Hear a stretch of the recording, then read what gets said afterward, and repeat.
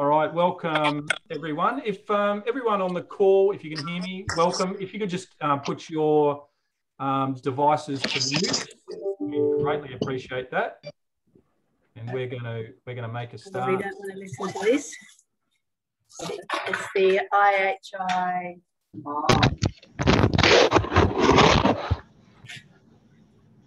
I don't know. Do you want to listen to it? Want to have it on loudspeaker? Uh, doesn't worry. I mean, it can be on. It doesn't worry me it's on. Please don't. Okay. I'm If everyone, if everyone Yeah, could go to mute, we'd appreciate that. as well. Um, I don't mind. Okay, if we could all go to mute. Brilliant. Thank you, everyone. Um, look, we're, we're going to make a start. We've got a um, really um, jam-packed um, hour together and um, we'll make a start. So welcome, everyone. Uh, kia ora, Gingeri, and uh, welcome to today's webinar, The Future of Housing, uh, with um, our guest, Victorian Minister for Housing and Planning, Mr. Richard Wynne, and our panel today. It's great to have you all with us. Uh, firstly, I'd like to acknowledge the traditional custodians of the land on which we collectively meet on today. We recognise traditional custodians' continual connection to land, water, and community, and I pay my respects to elders past, present, and emerging.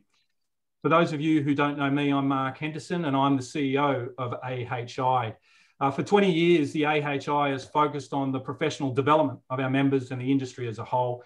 Today, we're proud to say we've got 2,297 members that we work with, and these are the professionals, people like yourselves, who are focused on delivering innovative social and affordable housing solutions across Australia and New Zealand.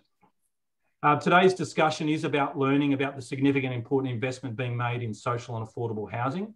And it's also uh, about a discussion on the human capital that will be required to drive the sector into the future, which is clearly our area of interest. We're going to throw a poll check up there, a, poll, a pulse check via a poll in a second for you to respond to. We've got 132 registered participants in today's webinar. And, and really interestingly, 60% of those are coming from outside Victoria. So clearly, hmm. what the Victorian government is doing is, great, is of great interest, and I sense great admiration. As many of you know, the Victorian government announced in late 2020 Victoria's largest investment in the social housing system and will include 5.3 billion in new and additional investment, producing 9,300 social homes and 2,900 mainly affordable low-cost homes. There's a further 1.38 billion delivered through the Social Housing and Growth Fund over the next four years to support up to 4,200 new dwellings. This is coupled with the government's deployment of the 10-year housing strategy, which is currently in development. It's really an exciting time for our sector, particularly in Victoria. So let me go to our panel first of all. Um, Minister Richard Wynne has been, we're really grateful for his time today. He's the Minister for Housing, Minister for Planning, and has a long distinguished career representing the inner Melbourne electorate of Richmond since 1999. He's also been Minister for Aboriginal Affairs, Minister for Multicultural Affairs, Minister for Local Government. He's a former Lord Mayor of Melbourne, City of Melbourne Councillor. He's also been an advisor to local councils and government. Minister Wynne studied social work and criminology at Melbourne Uni and after graduating worked for seven years in community health on inner city public housing estates. Minister Wynne, firstly, thank you for your tireless public service, clearly, and on behalf of our members and guests, thank you for your time today. Oh, thanks very much, Mark. Um, I'm up and away now. I, will just introduce the rest of the panel, Minister, and then All I'll right, sorry, yep. you. Yeah, no, you're okay. No Uh, Trudy, Trudy Ray is also on our panel today. Uh, Trudy is the Deputy CEO and Chief Operating Officer of Haven Home Safe. Haven, Haven offer a variety of housing and support services to people in housing crisis across 29 local government areas in regional and metro Victoria. Trudy is the Victorian Director of the AHI. She's also a member of the AHI Victorian Branch Committee, and she's chair of CHIA Victoria. She's a recent graduate of Harvard Business School, the Executive Leadership Program, and I can say this very confidently. Trudy is making a huge impact on the sector and a real champion of transformational change. Trudy, welcome. Um, Luke Boucher is the Executive Director, Strategy, Partnerships and Governance Branch uh, within the newly formed Homes Victoria. Luke's role includes the partnership between Homes Victoria and local government and community housing providers, as well as the overall policy direction and strategy for Victoria's social and affordable housing system. Prior to joining Homes Vic in March 2020, Luke held roles in the Commonwealth Government, NDIS, and not-for-profit housing sector. Luke, welcome to you. Um, Thanks, Mark. Last but not least, an Australian of the Year finalist, Steve Bevington, founder and managing director of Community Housing Limited, has been involved in the development and management of affordable and community housing for over 40 years. Steve has led CHL from a one worker organisation to now managing over 11,000 properties, making it the largest community housing provider in Australia with operations across six states and many international markets, and has nearly 300 staff delivering services to those most disadvantaged. Steve, welcome. Um, unfortunately, Darren Smith, CEO of Aboriginal Housing Victoria, wasn't able to join the call uh, with us today. So before I uh, hand over to Minister Wynne, uh, today is about interaction and asking, asking questions of the Minister and the panel. There are two ways you can do that. You can raise your hand using the Zoom function for that and ask the question live. So be brave. We like to see some live questions. Or two, you can use the chat function and I'll ask you on, um, and I can ask those questions on your behalf. We'll do our very best to address as many as possible. We're recording today's webinar and a copy of the recording will be made available to each one of you via our member platform. I'm now going to hand over to Minister Wynne for an introductory address and then we're going to open questions to the panel. Minister Wynne. Oh, Mark, thank you very much. Um, uh, and also acknowledging Steve Bevington and Trudy as well. Um, uh, as is our tradition here, I also want to acknowledge the traditional owners of the of the land on which um, I'm uh, I'm having this conversation today, which is the Wurundjeri people of the Kulin Nations, uh, and I pay I pay my respects to elders, uh, past, present, and emerging, and any other elders who are on uh, on the uh, on this webinar today, both uh, from Victoria, interstate, and I think even uh, New Zealand. I, I understand, Mark. So we acknowledge our friends as well. Uh, what do they say? Across the ditch, I think it's called.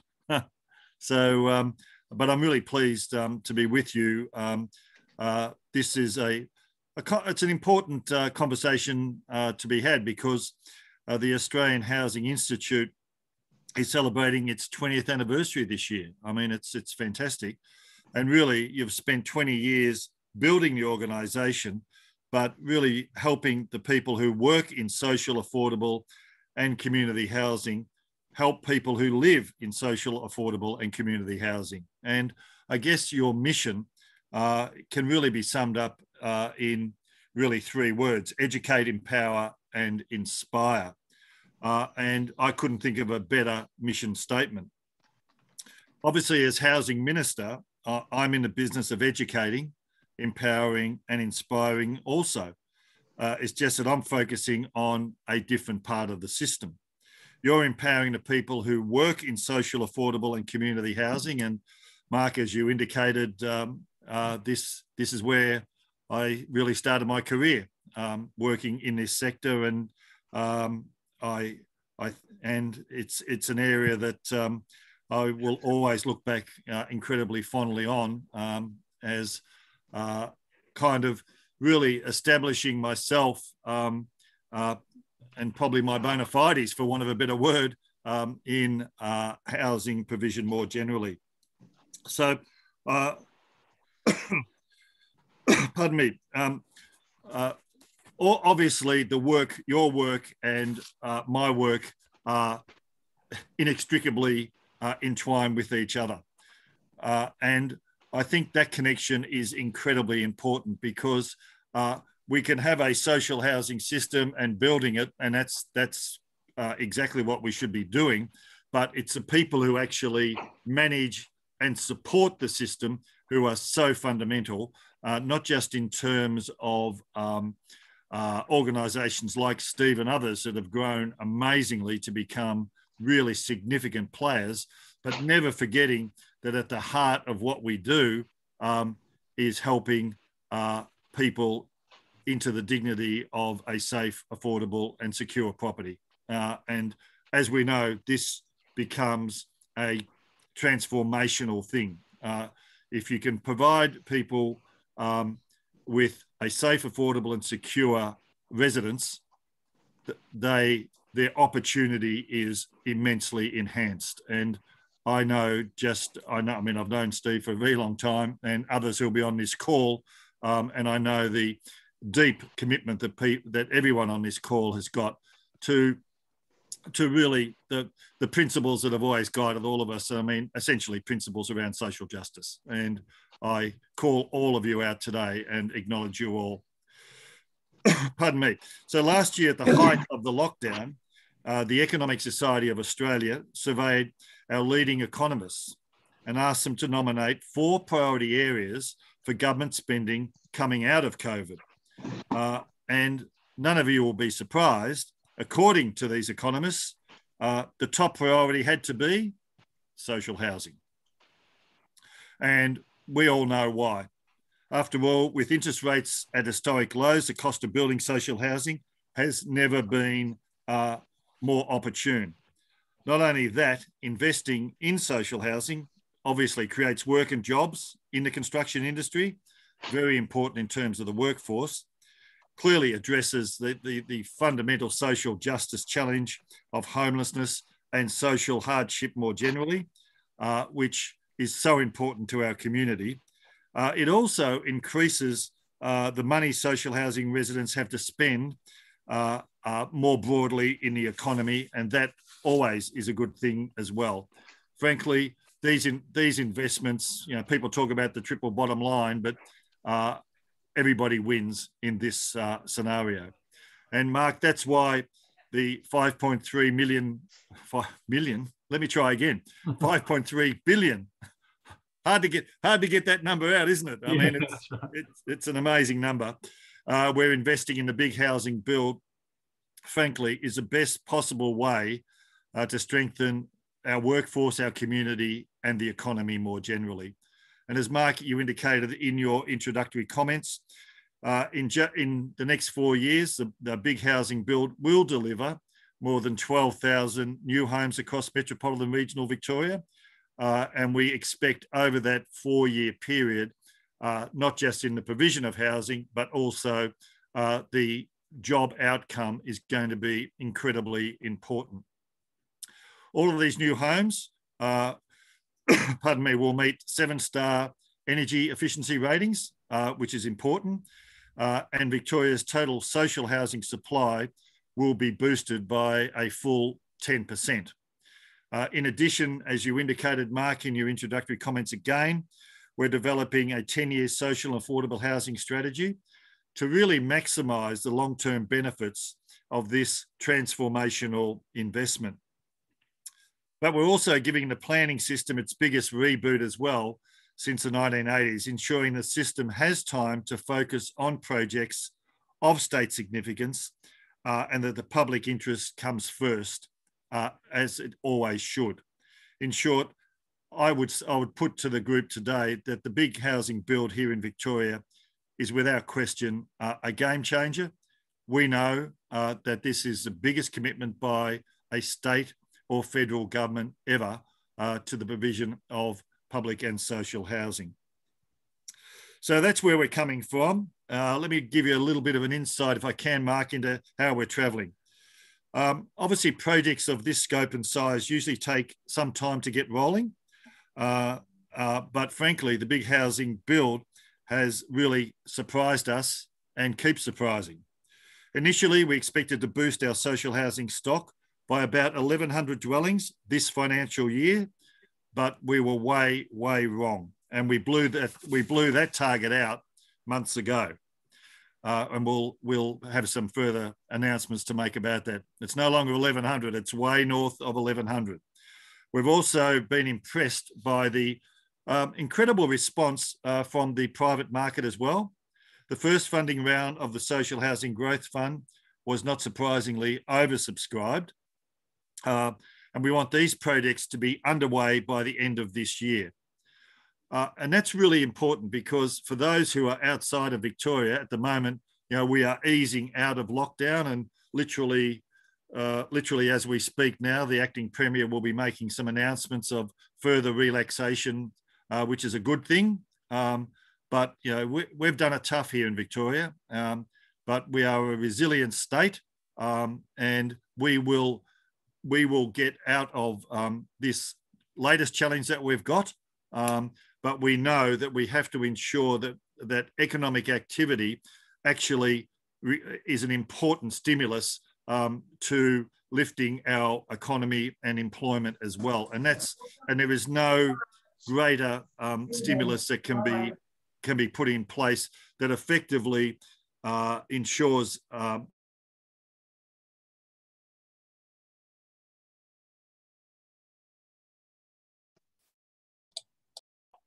Sorry, Minister, we might have um, just lost sound for a second.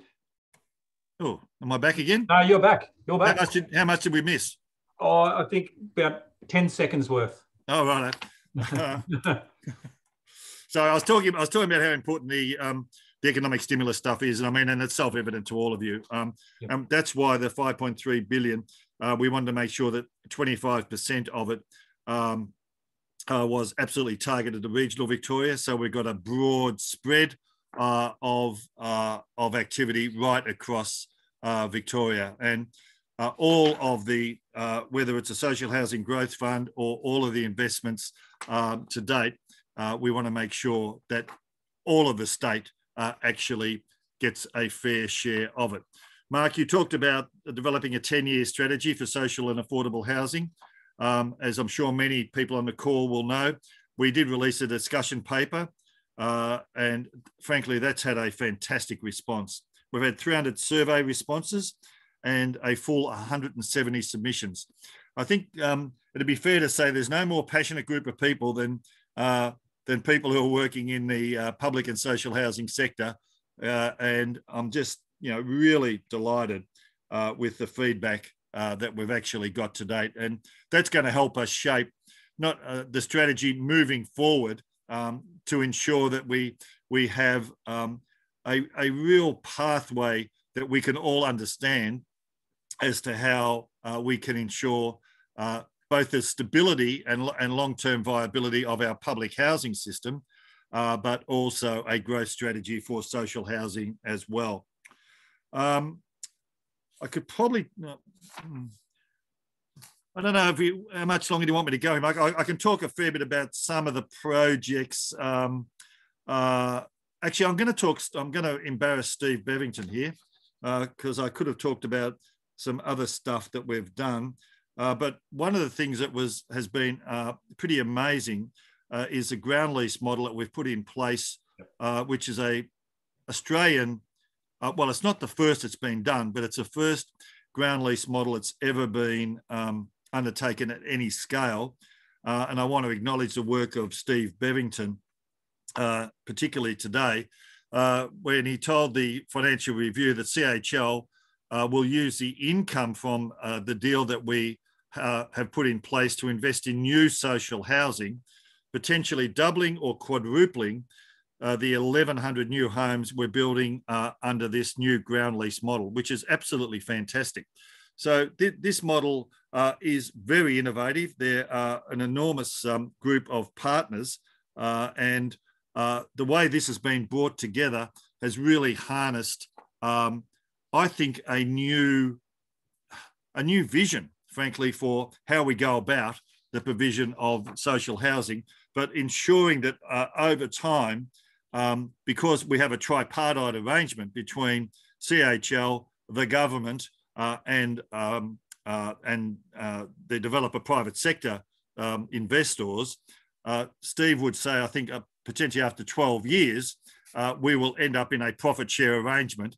And at the end of the leasing arrangement, um, all of the properties come back to come back to the state. Very, very innovative proposal. Um, I just want to touch briefly on homelessness. this has been a really, again, a really uh, leading edge initiative by the government. Um, this has been uh, very, very challenging work where at, at the height of the lockdown, uh, we were accommodating close to 1,800 people um, in hotels. Uh, we've probably got close to that figure again. Uh, and there were people on this call, and I, and I just say to the all of the partners, 33 partners who've delivered, who are delivering our homeless to a home package.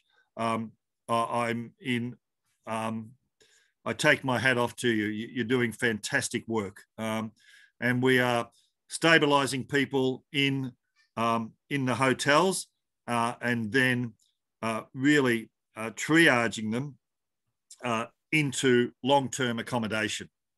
Uh, this is this is a uniquely Victorian initiative uh, by our department and uh, Sherry Brunhout and others who are at the front line of that. I want to call them out today for their work that they have done. Luke Bashir is going to be on the panel with me, who helped design this. I mean, it's uh, it's fantastic work, um, but it is incredibly challenging work.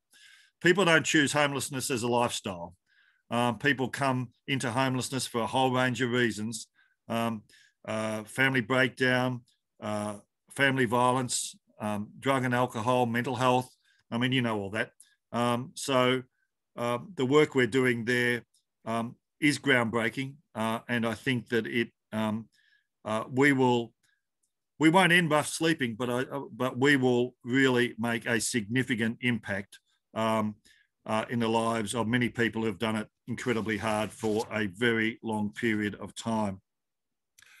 I'm going to stop there, Mark, um, and I think that would probably do me for the outset, and I, I very much look forward to the conversation. Yeah, thank you, Minister Wynne. That was fantastic, and it's um, you know I think I think we collectively feel proud to be part of this sector, and as you said, social justice is at the heart of what we do, and I think we're doing an outstanding job. Absolutely. Um, qu- question um, uh, more more broadly, um, and then we might narrow down on a couple of different areas. Sure.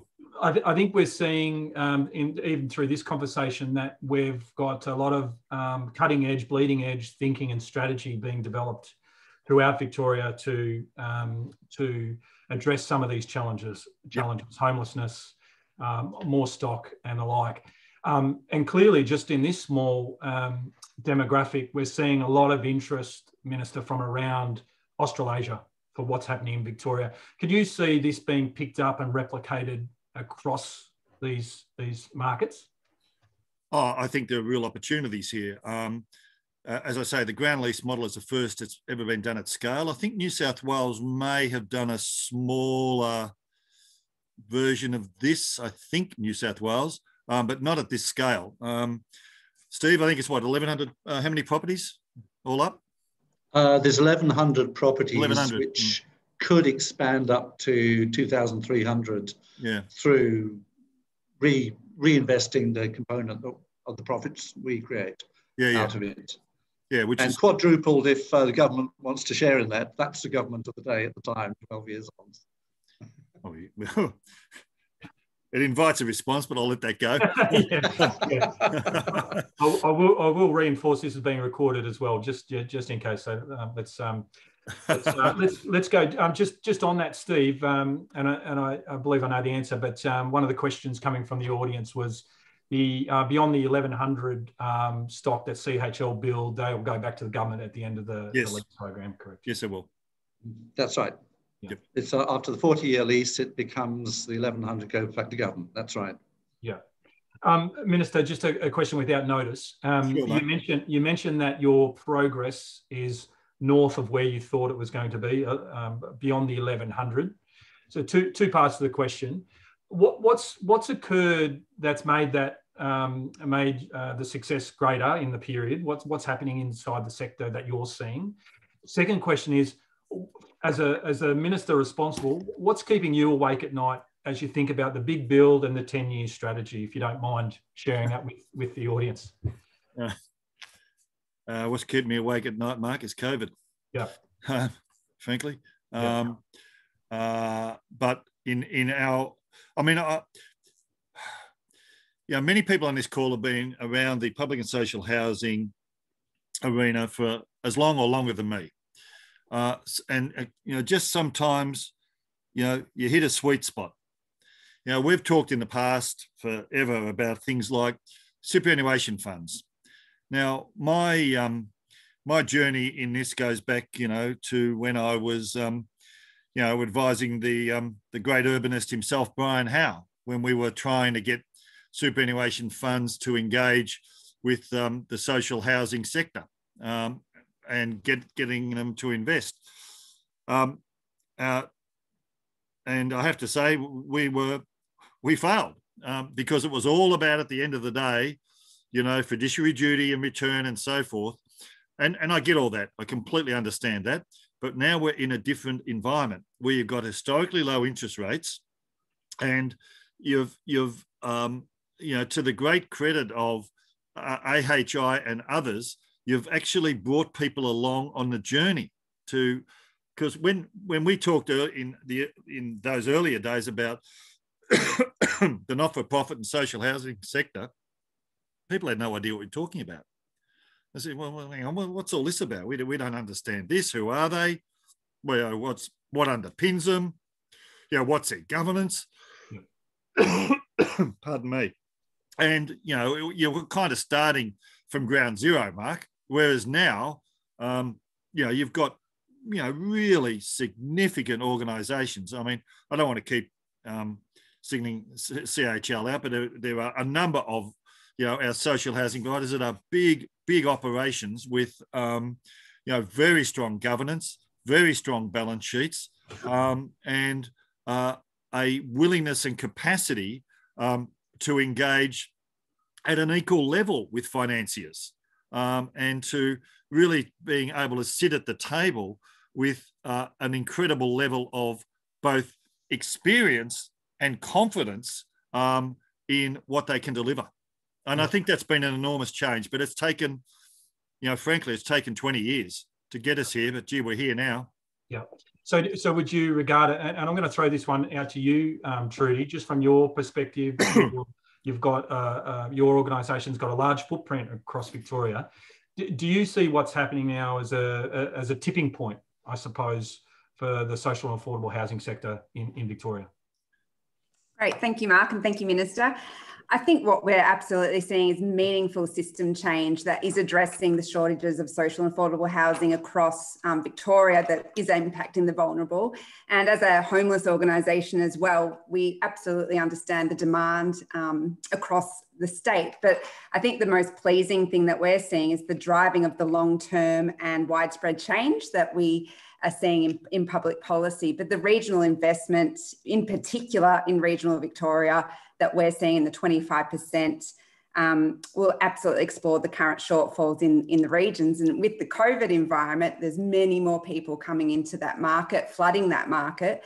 And as a consequence, uh, the demand uh, for housing and certainly the specialist homelessness services have risen in the past 12 months in those areas. So it's really pleasing uh, to see the the work and the investment that's happening, particularly in regional Victoria. I mean, I'm a massive ad for those of you that know me. I'm a massive advocate for regional Victoria. So um, the people-centered strategic vision uh, that the government's putting in place and increasing that supply through a variety of those mechanisms and partnerships and the collaboration across the social and housing um, sector and the complementary nature of the work that we do really goes to the forefront of the deep commitment to social justice that Minister Wynne was talking about previously. Yeah, brilliant. And Luke, let me just bring you in there because um, uh, Trudy referenced strategy and uh, and the and the like for the sector. This is clearly in your role as the ED uh, strategy and partnerships. Um, what, what are you seeing from the inside out? How, how are you and your team and the department engaging with the sector for the rollout of this strategy, both the four and the 10 year? Great, thanks very much, Mark. And you know, certainly from our perspective, that system change perspective that Trudy spoke about is really at the heart of um, the 10 year strategy. The, the, the, minister spoke about what a historic investment this is, and certainly it will, it will grow stock so significantly. We know that that's an opportunity not just to have more housing, but to have a better housing system and a system that works more effectively for Victorians who need it the most. So the 10 year strategy really is looking at how do we make this investment grow the system, but also change the way the system works. And that's really about putting tenants and residents at the heart of the system and putting them at the center and really focusing on outcomes. And a lot of the discussion at the moment is obviously about the, the numbers of properties that are built, the, the, economic impact. But we know that the next stage of that is people moving into these properties and, and that really transforming the lives of people. And so the 10 year strategy will look at some of those issues. How do we get the right supports in place for people? so that people are able to live their fullest life in moving into this housing and it has the biggest social impact for people. Um, and the other part of it is also the role of the community housing sector. So obviously in, in the growth of this package, so much of the package really relies on a partnership with community housing. So the 10-year strategy will also look at how do we build and strengthen the community housing sector, given this package will see a 30% growth in the asset base of, of community housing, which is a great a great thing for the not-for-profit community housing sector. But how do we think about the role of the sector and further strengthening their role? Um, and, and linked to that is the review of the regulatory system yeah. in Victoria, which will also make sure that community housing providers are supported to grow, but also that we've got the right regulatory system in place for, for tenants um, in, in this new environment. Yeah, thank you, Lucas. Steve, could, could you um, just add any comment on that uh, regulatory um, that change and, and where that's going from a sector perspective as a, as a key participant? Um, well, first, I'd like to take my hats off to uh, the Victorian government and particularly the minister who has driven this step change in uh, the development of social and affordable housing in this state, which is really important. And it's tremendous. I mean, if you think about it, there was 5.9 billion invested nationally 10 years ago in the nation building program yeah. and the Victorian government is investing 5.3 billion, which is a huge, you know, it's incredible for a state to actually do that. So to start off, I think all, it gives the lead to all other states in Australia and hopefully Australasia as well. Um, I also would like to say that uh, um, there's, along with that, has been this great partnership which has been proposed by Homes Victoria. It's given life to the compact between the sector and the government. And there's a genuine working relationship emerging, uh, which is how to take things forward once this stimulus package has been uh, expended as such. And it's the years from year four to year 10, which we will be focusing on and how to continue that growth. And briefly, I'd just like to say one of the great things that happened, uh, and to follow on from what the minister said about superannuation funds, is that when we started to field uh, discussions with financiers on the public housing renewal program, there were some 30 financiers involved in the bond issue there. And things have really changed now. And as a result of 15 years of regulation, we now have absolutely dependable income streams, and we can show the financing sector that this is absolutely a firm return, and that we have evidence to prove that over a long period of time. And that also, uh, with the government guarantees that come into the funds from both the Victorian government and the National Housing Finance and Investment Corporation, NHFIC, uh, we have this debt financing capability. So now these equity funds, superannuation funds can come in and consider that investing equity in the sector is the equivalent of investing cash. And this is the great change that can occur. And I believe that the future is about institutional investment combining with debt finance, guaranteed debt financing, which will drive the continued growth of funds. And quite simply, I think we need to look at Victoria and say the 5.3 billion is a very good start for government, and we need to attract another 65 billion to resolve not just getting up to the national average, but resolving the affordable housing needs for Victorians. Brilliant. Thank you, Steve. Um, we've got a, um, a, couple of questions coming through uh, by our chat. Um, uh, Minister or Luke, I think this one is um, for you. Uh, it would be good to understand. So, a question from Kate is it would be good to understand how the recommendations from the mental health inquiry will inform and align with the 10 year strategy and if larger state capacity initiatives can be ongoing rather than three-year projects, as they have been making great improvements. Minister, Luke? Um, so in the first instance, um, we, we committed um, uh, through the work of the Royal Commission uh, that we would fund uh, directly uh, 1100, Luke? I think 2000, Minister. 2000 properties. Wow. 2000, no, it's 11, yes, in the other sectors, um, family violence. Family violence. Yeah, 2,000 properties um, for uh, uh, our residents uh, on the waiting list um, who are suffering the challenges of, um, uh, of mental health. Uh, and that was, I think, really important that we, that we provided that, that, that announcement because as part of the Royal Commission's work, they absolutely understood the centrality of housing. Um, that for people who, uh, and you know, as we know, uh, we've got many people today who are in our hotels who who are suffering from the challenges of um, of of mental health, and and you and we absolutely everyone on this call knows it's a self evident truth that if you provide people provide a person with safe, affordable, and secure housing and wrap around them the services to support them in their tenancy, people will um, can and will get better. Uh, and uh, that's you know that's a self-evident truth, Mark. And um, um, you know I'm really very pleased with uh, how we have allocated both to uh, mental health, but also to family violence uh, and to Aboriginal housing as well. So we've got um, commitments to those other two very, very important areas uh, of, of uh, support. Yeah. Um, and just a, just a question from a little bit earlier from uh, Nick Lotter in up in New South Wales. Um, he, he just comments about the the new dwellings, which uh, with the seven star rating minister, a great, yep. great great tribute, great great strategy, great approach. What what accessible level uh, livable housing was prescribed? Uh, do you know, or Luke, do you know on, on those on those dwellings? Well, we had a um, we actually had a breakthrough, Mark, um, which largely went unheralded. Um, so um, I've been advocating for more accessible house as a minister for planning in this context because it's a building minister's um, issue. Um, this, the Building Code of Australia will be amended uh, uh, over the next two years uh, to put in place minimum minimum standards of accessibility.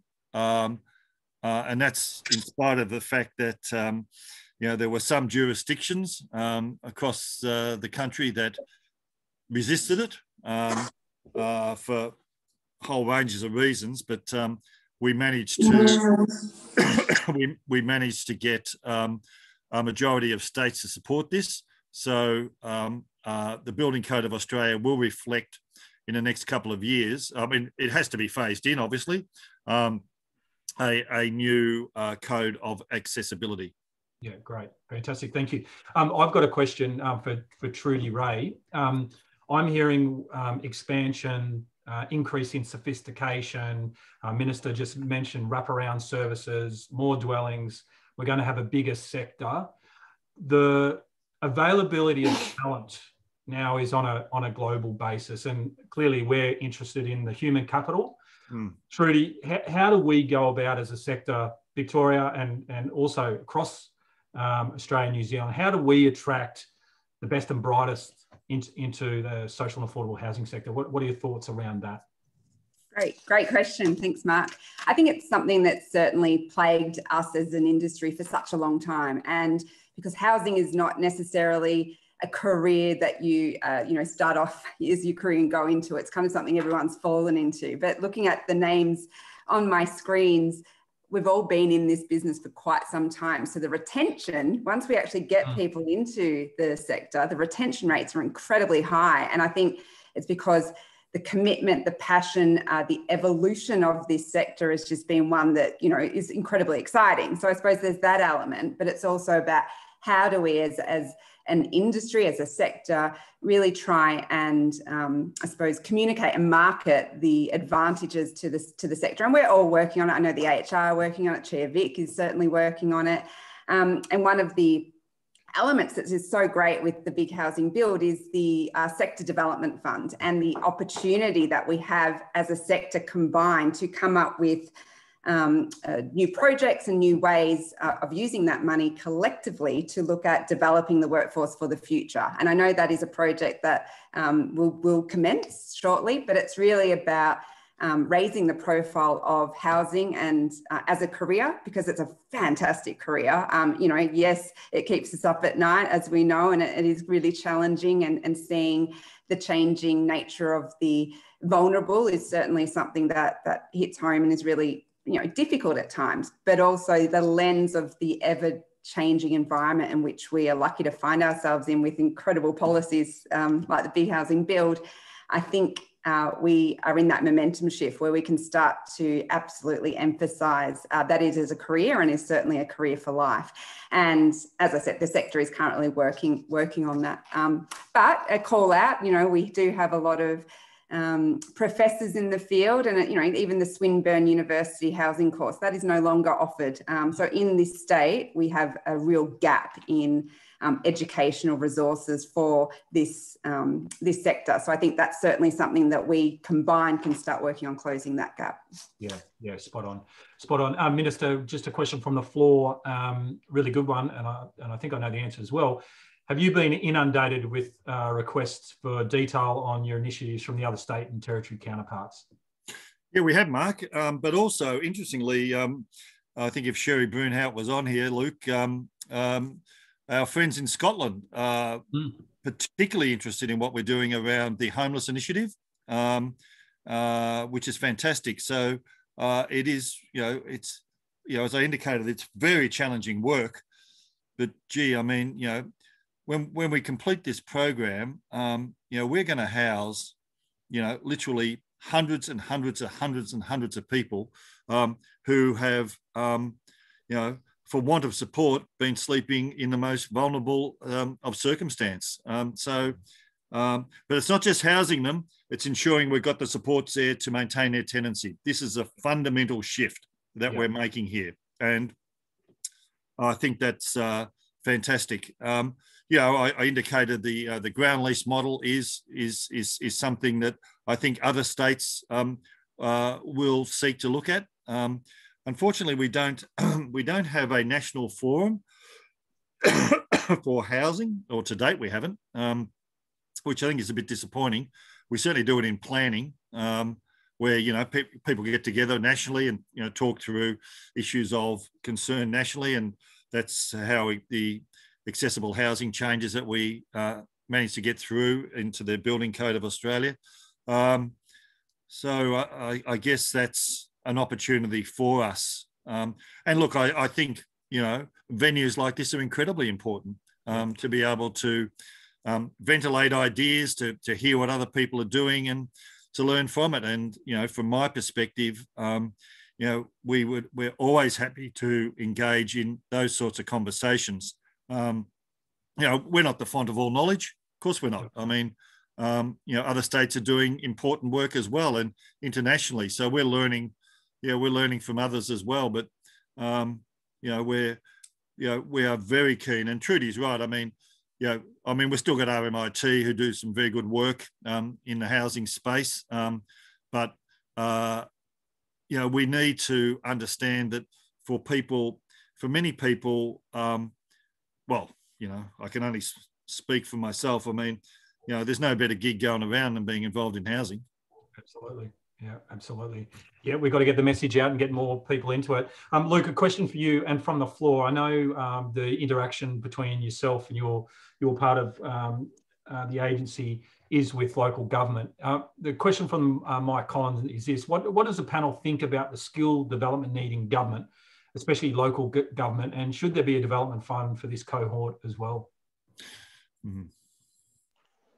Sure. Thanks, Mike, and uh, Mark, and, and thanks also, Mike, for for that question about local government. You know, we are taking a very different approach to working with local government and working with them as a genuine partner uh, in the way we want to work in Homes Victoria going forward.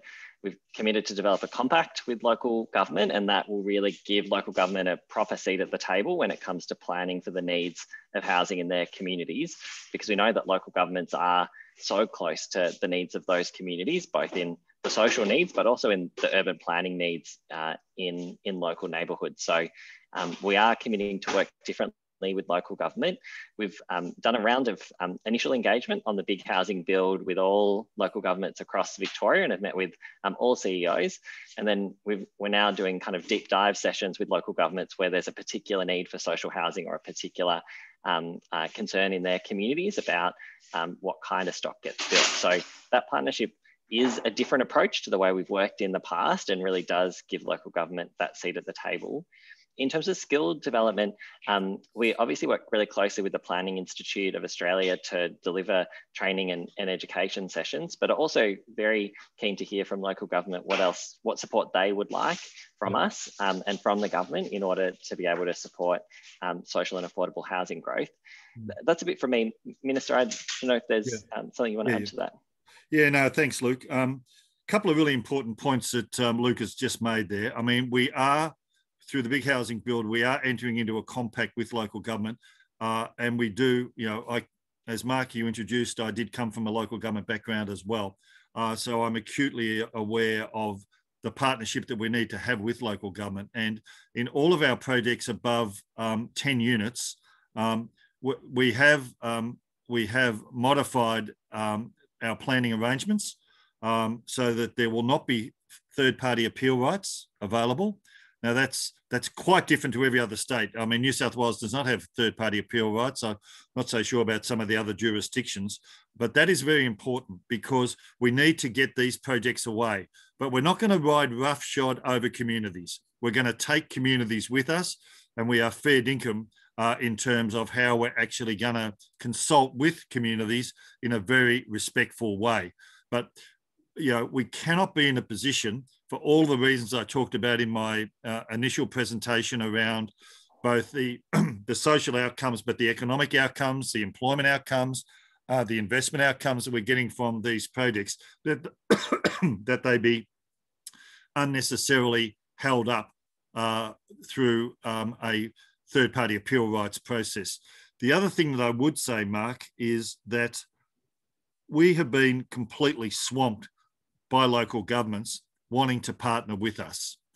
Um, and if there are local governments on the call here today in Victoria who have not been a part of the conversation with us, get on board because we are absolutely keen to partner with local governments. And what does that mean? It means um, let me give you an example.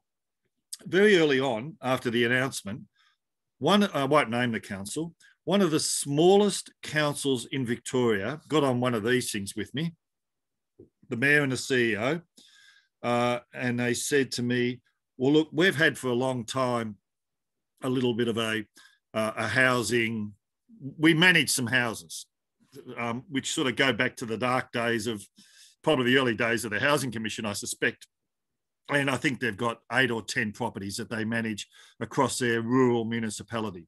Now, this is one of the poorest councils in Victoria. They said to me, I would like to, um, would like to develop, you know, and Luke was on the call with me. I think, I think six or eight units, something of that order. Um, you know, could we get into your program? And I said, oh, well, that's that's terrific. Um, what do you, what's what's your proposition? Uh, they're going to put in land.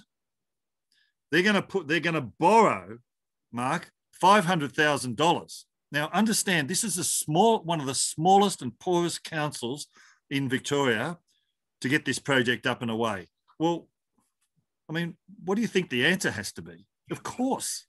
I mean, so the the answer the answer is we are deeply committed to working with local government, and one of the keys, and Steve and others who, who uh, are involved in development know this absolutely. If someone's coming with land, they're coming with a, a huge asset in their in their pocket because we know that depending on where the land is, it, it, it can be from anywhere between 10 and 30% of the development cost of these projects is in land.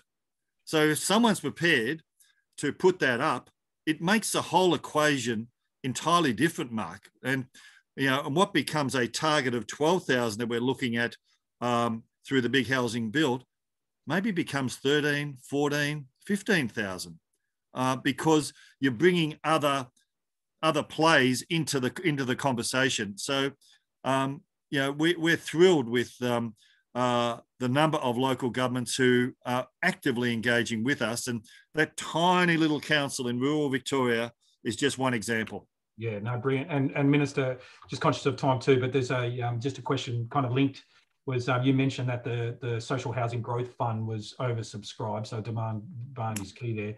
Um, how how over demand or how, how oversubscribed was it? Is the question from the floor. And do you see there being more phases of, of this as a number of interstate interstate community housing providers bringing in equity and debt to further grow social and affordable housing in Vic? Uh, I might just uh, I'll I'll defer that to Luke, who who perhaps we probably won't give you the number at this stage because we will be announcing some of this shortly. Yep. Um, uh, but in terms of of further iterations, I might I might just flick to Luke for that if I Yeah. can, Mark. Yep. So, so in Victoria, we put uh, 1.4 billion dollars into the Social Housing Growth Fund as part of the 5.3 billion uh, big housing build. Uh, and in the, the first rapid grants round, which um, closed uh, earlier this year in March, as, as the minister said, we had an overwhelming response to that. Um, but absolutely, there'll be further rounds of Social Housing Growth Fund, and, and hopefully the round, the rapid grants round, will um, be public soon, as the minister mentioned. The the minister also talked before about some of those cohort targets: Aboriginal housing, mental health, family violence, and regional. You know, we know that through the rapid grants round, community housing providers had a lot of shovel-ready projects. Those projects didn't always meet all of those different cohort needs that we're aiming to deliver through um, big housing build. So expect, I, I, think you can expect that future rounds will will make sure that we're meeting those cohort targets around mental health, family violence, um, and regional in particular. Yeah, brilliant. Thank you, Luke. There is a couple of questions that we probably won't get to, but there's one here that I'm keen just to. Oh, we can do a couple more, Mark, if you like, and then we can knock You, it you, off. have you got Have you got the time? Yeah, yeah, we could do say another ten. Yeah, 10, 10 questions. No, no. uh, no, just cheekily, I thought I'd ask. No, no, another 10 minutes. That's fine, Minister. Appreciate that. Um, let, us go to this one. Um, and it's and it's a it's a key one. Can there be some more discussion regarding how we take communities along with us? Many myths abound. There was a project around many years ago dispelling the myths about public housing, et cetera, et cetera. Be a great time to have a similar project running al- alongside the big build. Is that what? What are your thoughts on that? Uh, it's it's a great struggle, isn't it? Um, you know, how many times have I been at public meetings, you know, where you you front up to these events and people say, no, no, no, no, no, no, we absolutely support public and social housing. Not fantastic. We love it. Look, our only problem, uh, it's car parking or it's traffic.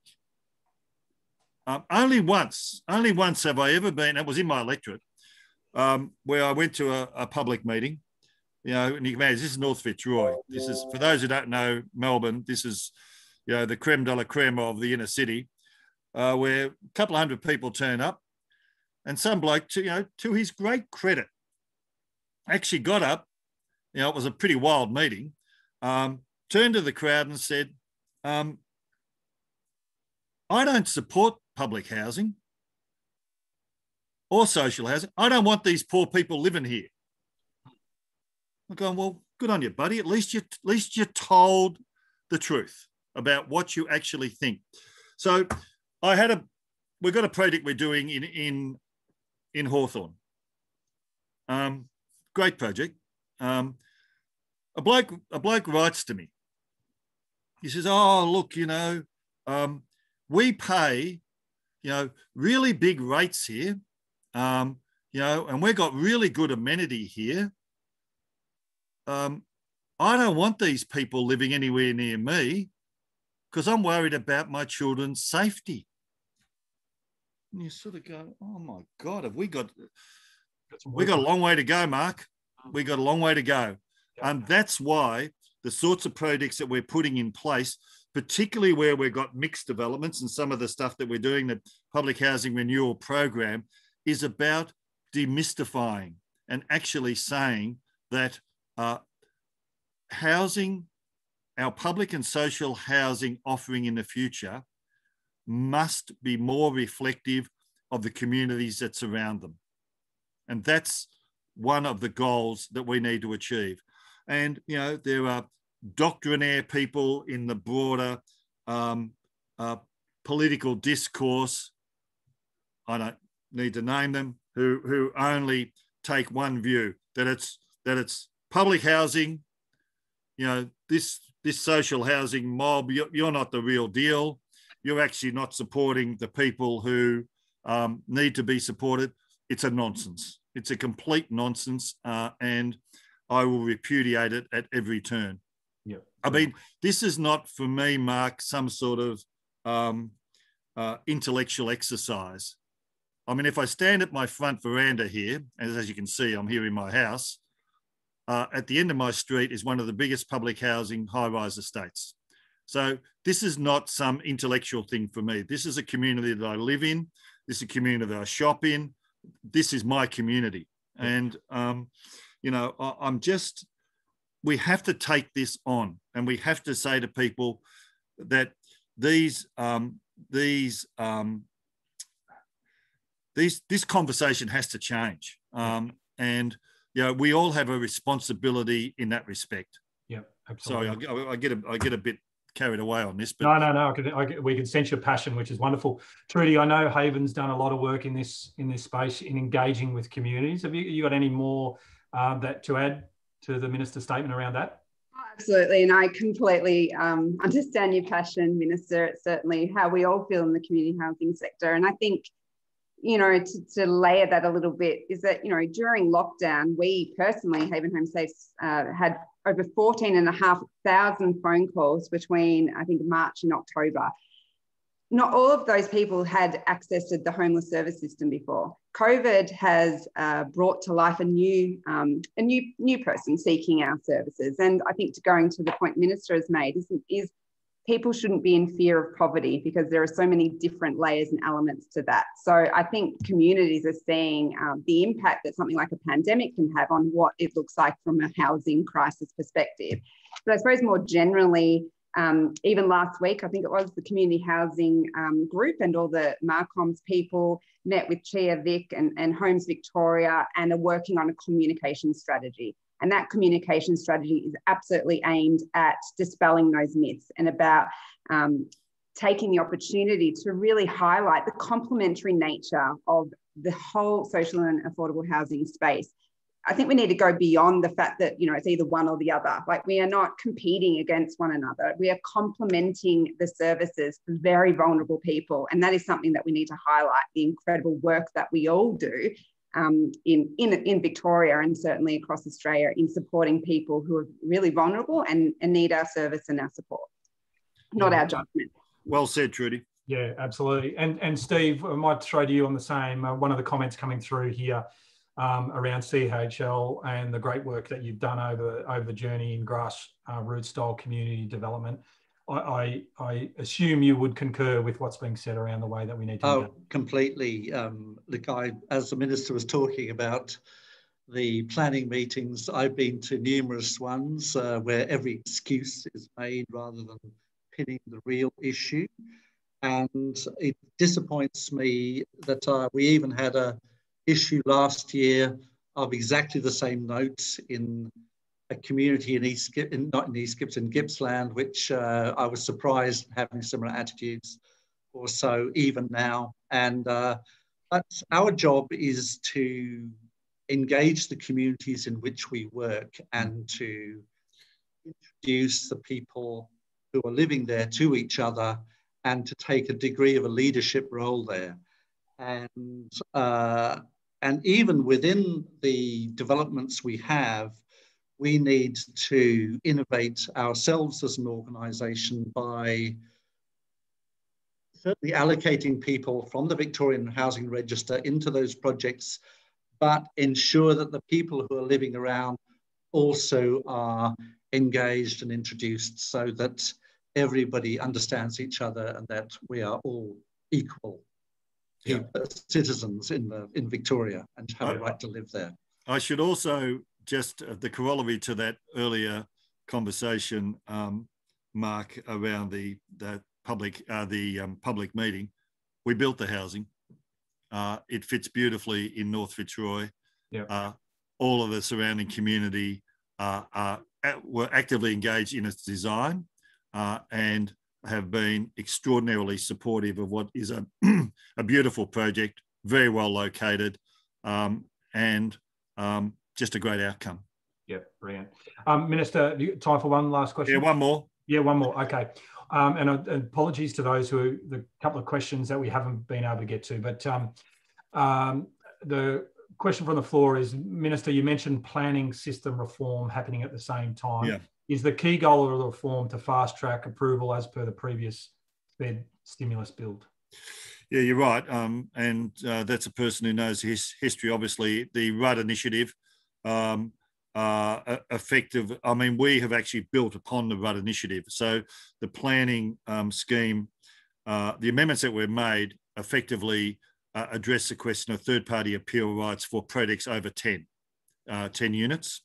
Um, 10 and less, we think, you know, could e- can very easily be managed by uh, local authorities. Um, and you know, and we're very hopeful that they will um, continue to be, you know, supportive of us, but and particularly where we're we're in a in a partnership with them. Um, so as as, as I've indicated, um, and we don't do this lightly. Um, I mean, obviously, uh, that's a that's a pretty big decision to have to have been made, but we want to ensure through the compact that Luke talked about that we are going to continue to have a deep and meaningful relationship with local councils uh, in terms of the consultative processes prior to um, any approvals. The other thing that I should say, and I've forgotten, I've forgotten to say this, um, although obviously I'm the Minister for Planning, but in this context, I cannot be both the proponent, as in the Minister for Housing, and the decision maker as the Minister for Planning. Clearly, you're conflicted. So all of the projects will completely bypass me as the Minister for Planning and will be both assessed um, and independently approved uh, by my colleague, uh, Minister D'Ambrosio, for the Yeah. obvious reasons. Yeah, brilliant. All right. Well, we, we might um, we might call a halt to this discussion, uh, Minister. But um, I want to firstly thank you for your the generosity of your time. Now, I understand from your office you're you're soon to take a bit of a break, and I think you probably have had a busy, busy 12 months. So I hope you come back uh, rested and refreshed. Uh, but again, thank you very much for your time and extending your available time for the, these 10 minutes. Um, Luke, Steve, and Trudy, thank you to you guys. Thanks so much for your time and input in today's panel. And I want to thank everyone who's on the call today. We will be making available a recording of the um, of the discussion, and it'll be on the um, AHI uh, learning platform. So we'll get that out to you fairly shortly. So um, again, thank you. Thanks for everyone's time today. And again, Minister, thank you for yours. Thanks very much, Mark, and thanks everyone for being online today and your interest. Um, let's do it again sometime. Okay, thank you. We'll take you up on that offer. Thank you. Good on you. Thanks. See ya. Bye bye.